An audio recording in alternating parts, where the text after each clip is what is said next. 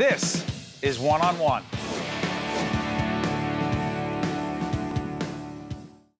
We're pleased to welcome Katie Meyler, founder and CEO of an organization called More Than Me. How you doing?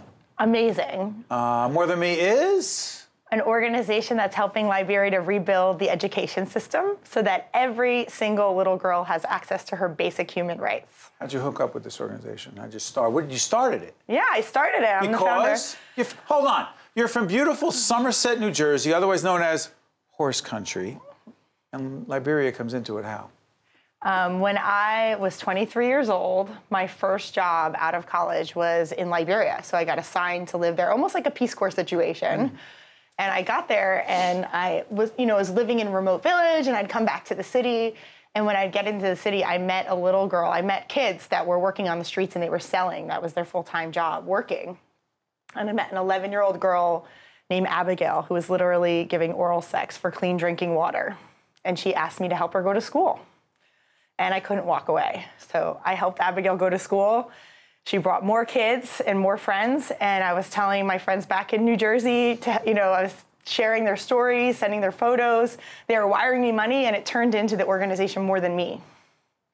So, is it largely focused on education for these children, for these girls? It's what they wanted. They asked the, the girls. It started off that way. The girls asked me to help them go to school, and I did. And the schools that they were going to weren't good enough. They, you know, they weren't really learning. The teachers weren't there.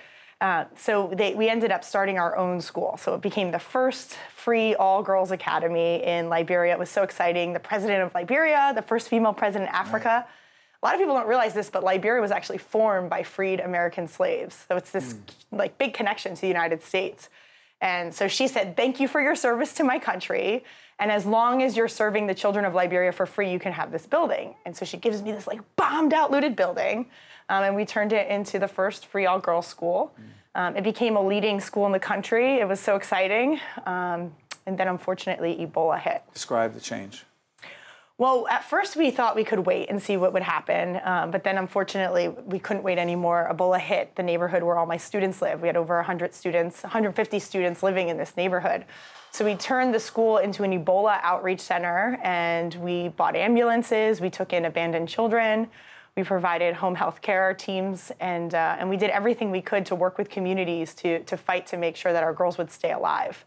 Um, after six months on the front lines of Ebola, um, we were changed. I was changed. I mean, it wasn't just running, you know, the ambulance services and all this. It was like our, our plan was do everything you can to keep people alive, and when you can do nothing else, sing and bring dig- dignity in death. So we were praying and singing with a lot of people while they passed away, um, and it changed. It, I mean, seeing that much death, especially, um, especially for young children, really, I'll never be the same person again. People watching right now, public broadcasting, FiOS, digital platforms, what do you want them to take away from this conversation right now? And more importantly, what can they do? Yeah, I think now what ended up, you know, after watching all that death, we realized that the root cause of sexual exploitation of young women is the same root cause that of why Ebola had the toll that it did. Um, and it's that there's, you know, the systems in Liberia are broken and, fra- you know, they're so fragile. So we're helping rebuild the entire education system. We now went from one school to seven. Our plan is to go to 500 schools in the next five years um, and reach 20% of Liberia's kids. Um, and we need we need help. So I mean, people can we use social media as a big piece of of how we share what we're doing, so they can follow our work and see what we're doing. But most importantly, um, the number one way to help is to become a monthly sponsor, and what we call that is the 2021 Collective. What does that mean? And uh, it's by the year 2021. Uh, we're we're going to reach 20% of Liberia's kids and open these 500 schools. It's 250,000 kids, uh, but we have to raise 25 million dollars to do it, which sounds like a crazy number. Uh, but if you break it down, it's 10,000 people giving 40 bucks a month for five years, and then the long-term costs are actually absorbed by the government. So it's we, we don't need to raise additional money after that 25 million dollars. So we are doing it, but we need help. It's more than me has always been about living for something bigger than yourself. Um, it's it's every day wherever you are. It's in this moment. It's here in New York City, in New Jersey, wherever. But it's also you know it's also about contributing to to a world that's bigger than just us. Uh, last question. How did you know and when did you know that you had to do something that was more than you or about more than you? Yeah, I mean, there I, there's a lot of different moments. I think one the one that comes you know to mind first is like I grew up, even though I grew up in a really wealthy community. My mom was a single mother of three who worked really hard, making minimum wage. And um, when I was in high school, um, I went with my youth group to we'd come to New York City to feed the homeless and we would do everything we could to you go to old folks homes and sing i played guitar like phoebe from friends. And it felt really good to to get over the our own struggles and challenges that we faced in our family and to, to live and love others. Well you're doing good stuff and your mom did a good job. Keep doing what you're doing. Thank, thank you, you steve. Great job. Yes. One on One with Steve Adubato has been a production of the Caucus Educational Corporation, celebrating over 25 years of broadcast excellence.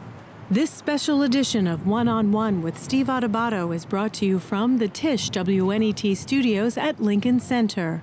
Funding has been provided by Georgian Court University, Suez, Summit MD Anderson Cancer Center, Qualcare Inc., Johnson & Johnson, Gary's Wine and Marketplace, and by the law firm of Gibbons PC. Transportation provided by Airbrook Limousine, serving the metropolitan New York, New Jersey area.